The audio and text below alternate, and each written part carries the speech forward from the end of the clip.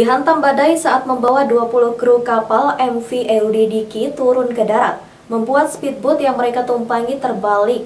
Namun seluruh korban pelaut warga negara asing itu selamat, termasuk tiga motoris speedboat warga Indonesia.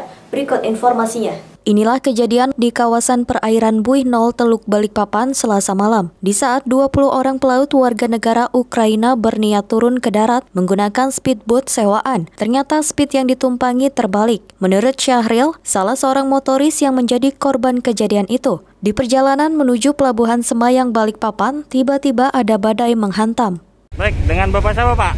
Bapak Saril. Bapak Saril uh, sebagai apa Pak? Driver. Driver di Speed. Ya, boleh tahu Pak tujuannya dari mana ke mana Pak? Dari kapal dia mau ke Semayang. Kapal dari mana? Dari kapal. Kapalnya posisi dari mana? Di apa? Di OB kemarin. OB. Ya. OB ke Semayang. Ya. Nah, untuk kejadian gimana itu Pak? Kejadian? Kejadiannya tiba-tiba bisa dihantam badai. Hantam badai tiba-tiba. Tiba-tiba. Begitu lepas dari kapal dihantam badai. Untuk posisi tipe kapal Bapak, kapal apa Pak? Speedboat. Yang untuk isi 20 orang. Pak itu sekitar 15 sampai tapi kita mau cuma 11. Nah, ini sampai 22 tuh Oh, dia Bat- tiga, tiga boot. tiga boot ya, berarti Iya. Bapak ya. Iya. Jadi boot Bapak yang terkena ya. Iya. Nah lah. Jadi tiba-tiba aja Pak ya. Tiba-tiba ada badai. Oke Pak. Badai tim angin timur. Angin timur Pak ya. Aja. Tapi semuanya baik-baik saja Pak ya. Alhamdulillah. Ya alhamdulillah. Makasih ya Pak ya. Malam itu ada tiga speedboat bergerak menuju pelabuhan Semayang. Dua speed mengangkut 20 orang pelaut dan satu speed lain khusus mengangkut tas dan barang yang mereka bawa. Rencananya para pelaut turun ke darat karena harus mengikuti tes swab PCR sebagai persyaratan melanjutkan perjalanan naik pesawat ke Jakarta. Para kru kapal ke Jakarta untuk mengurus dokumen send out dari pihak imigrasi ke negara mereka masing-masing melalui Bandara Soekarno-Hatta. Setelah speedboat mereka terbalik, beruntung ada kapal di dekat mereka yang melihat peristiwa itu.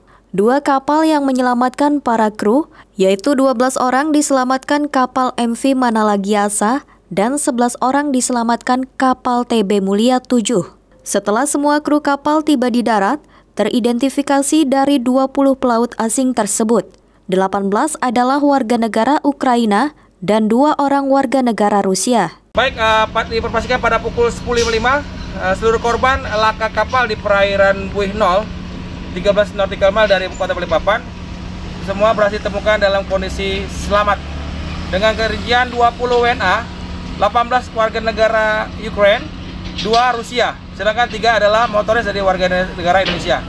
Seluruh korban telah dievakuasi ke posko di Semayang.